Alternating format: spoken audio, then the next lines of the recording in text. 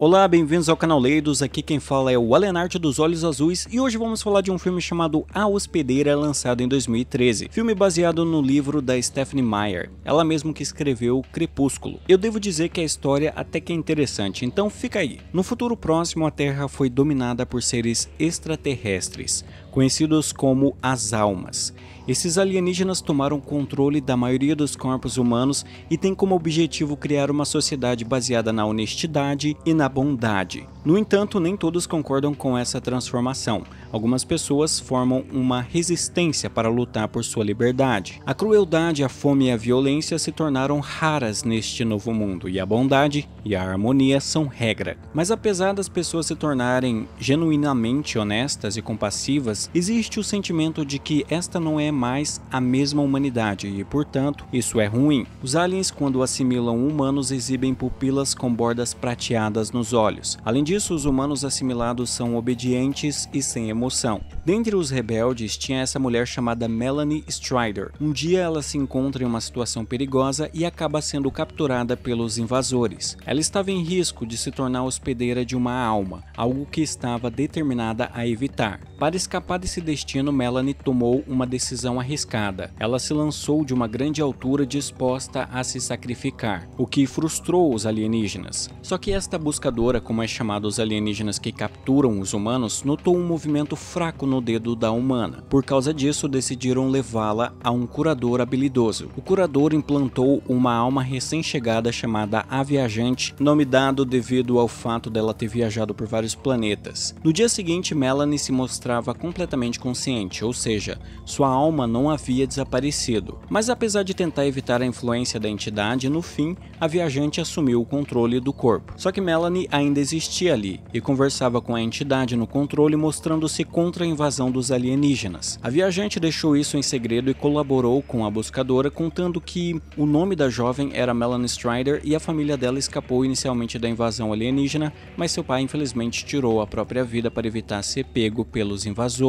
Desde então, Melanie vagava sem rumo. Conforme a viajante foi se adaptando à vida na Terra, ela tentou convencer Melanie a não resistir. Afinal, segundo ela, seus companheiros estavam tornando o planeta melhor e as pessoas mais felizes, mas a humana os via como prejudiciais não como ajudantes. No passado, Melanie entrou em uma casa e um rapaz chamado Jared a encontrou. Os dois se juntaram e começaram um relacionamento. Além deles, o irmão mais novo de Melanie, chamado Jamie, os acompanhava. Acontece que agora a viajante tem sonhos sobre essas coisas que aconteceram com a humana, e através disso ela descobre uma informação bastante sensível. Melanie, seu irmão e Jared estavam viajando rumo ao deserto onde o tio da protagonista havia criado uma base para os humanos insurgentes. A buscadora passou a fazer sessões com a viajante e acabou aprendendo sobre isso, o que a fez querer entender mais sobre Melanie, até para saber se nas memórias dela constava a localização da base. E conforme a conexão entre a entidade alienígena e a humana vai aumentando, a viajante decide não compartilhar informações mais detalhadas sobre o passado de Melanie. Durante uma dessas sessões, a buscadora fala que queria entender mais sobre Jared, pois de repente isso a ajudaria a encontrá-lo. Melanie fica enfurecida, ela assume o controle e ataca a alienígena. A buscadora, no entanto, consegue dominá-la. Depois, a viajante recebe notícias de que sua alma seria transferida para um corpo mais complacente no dia seguinte, e a buscadora seria transferida para o corpo de Melanie para descobrir todos os seus segredos. Os alienígenas tinham uma puta tecnologia, mas não conseguiam fazer download das memórias dos humanos. Tá bom então, né? De qualquer modo, a viajante não concorda com isso e decide ajudar a protagonista a escapar da clínica. Na fuga, ela se aproximou de um homem que passava e pediu para que ele emprestasse seu carro. O sujeito concordou, isso porque não era parte dos invasores tirar vantagem um do outro e, portanto, estavam sempre dispostos a se ajudar, o que tornava fácil enganá-los. Eventualmente, a viajante chega até uma parte do deserto onde é encontrada pelo tio de Melanie, chamado Jeb, que estava acompanhado por outros humanos. Ao perceberem que ela era uma invasora, os outros querem matá-la, mas Jeb percebe percebia algo diferente naquela criatura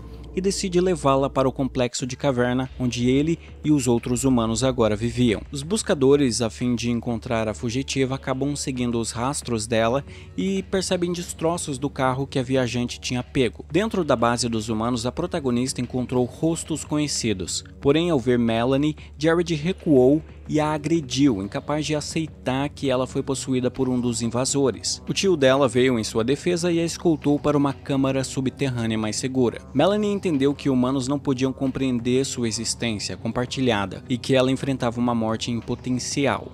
Ela sugere a viajante que esconda dos outros que uma parte de Melanie ainda estava lá dentro. Eventualmente, um grupo de jovens que viam a convidada como uma ameaça que poderia potencialmente levar os buscadores até eles decidem atacá-la. Só que antes que possam fazer algo, Jeb intercede, afirmando que a proteção da garota é sua prioridade e irá punir severamente qualquer um que se aproxime dela. A esta altura, a maioria dos alienígenas desistiram de procurar a fugitiva, exceto por uma buscadora. Jeb levou a viajante em um tour subterrâneo e revelou um lugar incrível. Ali a água se comportava de maneira peculiar e, apesar de muito bonito, precisava se ter cuidado, pois podia ser perigoso. Durante a conversa, o homem também sugere chamar a viajante de Wanda para tornar mais prático. Neste lugar, os humanos obtinham sua energia do sol e a água vinha de um vulcão vulcão adormecido. Além disso, também havia um campo especial de trigo que cresceu devido a um sistema de espelhos que trazia luz solar até aquela parte da caverna. De repente, a buscadora surge em um helicóptero tentando achar algum possível rastro de para onde Melanie tenha ido ou de onde os humanos poderiam estar. Quando as pessoas ouvem o helicóptero, elas se apressam em desativar os sistemas de espelhos, afinal, eles poderiam denunciar a posição em que estavam. A buscadora avistou um brilho estranho que sumiu de repente e o piloto piloto disse que não havia ninguém lá embaixo. O helicóptero então foi embora, mas as pessoas estavam convencidas de que os alienígenas poderiam retornar. Quando Jamie fica a sós com Melanie, ele fica curioso sobre o que tinha acontecido com sua irmã. Wanda não queria contar a ele, mas percebendo que o menino precisava saber, ela conta que Melanie ainda existia consciente dentro dela. Porém, ela pede para Jamie não contar isso a ninguém, por enquanto. Um grupo é enviado à cidade para conseguir suprimentos. Eles tinham técnicas para enganar os invasores, mas ainda assim, na volta acabam sendo perseguidos por buscadores. Durante a perseguição, dois rapazes jogam o caminhão em que estavam contra blocos de concreto causando um acidente terrível que os mata na hora. Para eles, aquilo era melhor que serem capturados e revelarem segredos sobre o esconderijo onde os outros estavam.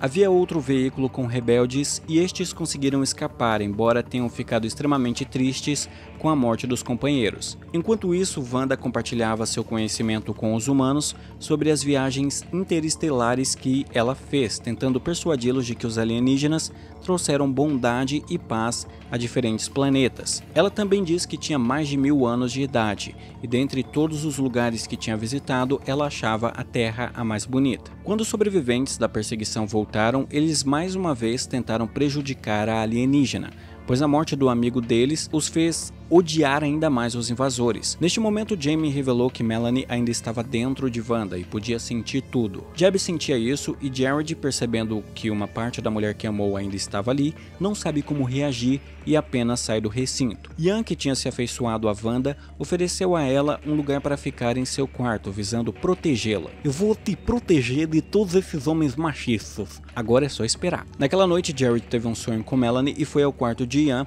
esperando falar com Melanie. Ainda com dúvidas, Jared a beijou e ela o empurrou, o que deixou certo que sua amada ainda existia naquele corpo. Mais tarde, Wanda foi ao local que Jeb tinha lhe mostrado e lá Kyle tentou atacá-la. No momento de medo, Wanda o empurrou na água, mas segurou a mão dele para impedir que ele morresse. Ela chamou por ajuda e os outros vieram para salvar o rapaz. Mesmo que ela não tenha dito o que realmente aconteceu, Jeb entendeu tudo e ordenou a Kyle que nem olhasse para ela a partir daquele momento. Algum tempo depois, Ian levou Wanda para fora e confessou seus sentimentos por ela. Por dentro, Melanie estava irritada porque ela gostava de Jared, mas Wanda gostava do Ian. É estabelecido este triângulo amoroso porque esse filme é baseado no livro da Stephanie Meyer, né, a criadora do Crepúsculo, e a mulher gosta muito de triângulos amorosos. Bom, enfim, Ian e Wanda se beijam e Melanie se retorce por dentro dentro. Um dia, quando Wanda vai à enfermaria, ela faz uma descoberta chocante. O médico dos rebeldes estava conduzindo experimentos para remover almas dos humanos, o que sempre resultava na morte de ambos. Inconformada, ela decide ficar reclusa, sendo incapaz de lidar com o que ela via como ações monstruosas. Só que eis que Jeb se aproxima para falar com ela. Ele explica que este mundo pertencia a eles e que queriam recuperá-lo. Wanda entendeu o ponto do humano, mas acreditava que estavam utilizando a abordagem errada, porque havia maneiras alternativas de persuadir as almas a sair. Só que no meio disso ela descobriu que Jamie tinha ficado doente. Fora esse problema, Melanie, enquanto consciência, não estava mais falando, e Wanda não sabia por que e isso a deixou muito preocupada. Ela pediu a Ian para beijá-la na esperança de que Melanie respondesse, mas não funcionou, então Ian trouxe Jared, já que este uma vez causou uma forte reação em Melanie com um beijo. Eles esperavam que se o rapaz a beijasse novamente, isso pudesse trazer a consciência de Melanie de volta. E acaba que isso dá certo. Com Melanie acordada, ela descobre sobre a doença de seu irmão mais novo e pede ajuda a Wanda. Como Wanda ainda era uma invasora, ela conseguia acesso a vários lugares que os humanos não conseguiam, como por exemplo, o hospital onde havia os remédios milagrosos dos alienígenas. Ela se infiltra no hospital e pega o remédio necessário para curar Jamie. Além disso, ela leva um objeto capaz de extrair almas. Ao retornar ao esconderijo dos rebeldes, ela usou os medicamentos para curar Jamie. Fora isso, ela passou a se juntar aos humanos, em missões para conseguir suprimentos, o que se provou muito eficaz. Porém, um dia eles foram emboscados pelos buscadores. No entanto, dessa vez os invasores acabaram levando a pior e a buscadora-chefe é presa pelos humanos. Wanda decidiu conversar com a alienígena curiosa sobre por que eles estavam tão determinados a persegui-la. A buscadora explicou que apenas uma alma fraca poderia ser um grande problema para a missão de todos e avisou que mais buscadores viriam atrás dela e principalmente dos humanos.